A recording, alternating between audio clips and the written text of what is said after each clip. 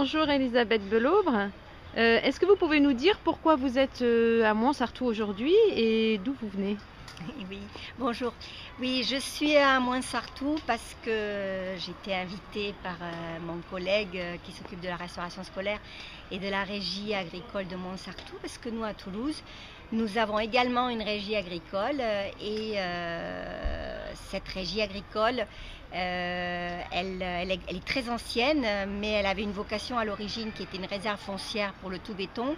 Et notre projet est de, depuis 2008 de la transformer en euh, régie agricole pour produire euh, pour Toulouse et en particulier pour la restauration scolaire de la ville de Toulouse, puisque nous avons la chance d'avoir euh, une restauration scolaire en régie et, nous avons, comme à Montsartou, le désir d'introduire de plus en plus de produits bio, locaux et bien évidemment le top du top, ça serait que le local ce soit à Toulouse, produit pour Toulouse. Euh, Toulouse euh, est tout à fait dans la lignée de la préservation des terres fertiles.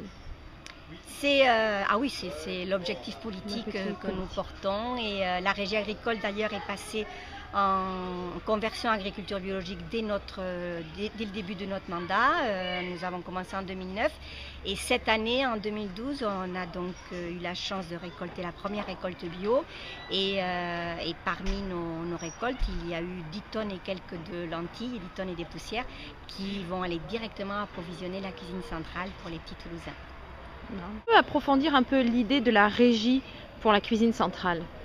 Oui, euh, je pense que c'est très important d'insister sur le fait que euh, si nous avons pu bouger les choses en, très peu de temps, donc entre 2008 et aujourd'hui, on est passé de quasi rien comme achat bio à presque 30% euh, de nos denrées en bio, ce qui était dit comme quelque chose de totalement utopique et tout le monde avait fait le pari qu'on allait se planter.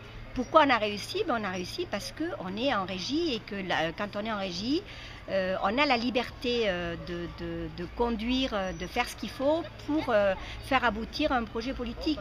Et la, délégation de service public pour la restauration scolaire n'est absolument pas une obligation et, il est évident que lorsque on délègue ce genre de, travail, eh bien le- l'entreprise privée doit faire des bénéfices que nous n'avons pas à faire nous. Donc nous avons des prix, nous avons la volonté politique qui peut se traduire en application et euh, il faut bien se dire que ce n'est pas une obligation la délégation. Il faut en finir avec cette petite blague. Merci beaucoup et bravo. Bonne continuation, bonne chance. Merci.